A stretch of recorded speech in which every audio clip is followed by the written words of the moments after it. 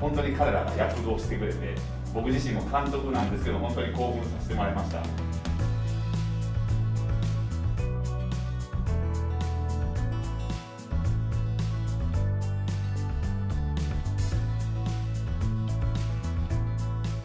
素直になんか嬉しい気持ちがあるんですけど、まあ、ご優勝いたいただけて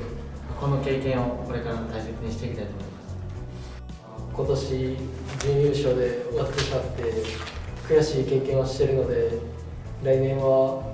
5万人の前で優勝して笑って終わりたいと思います。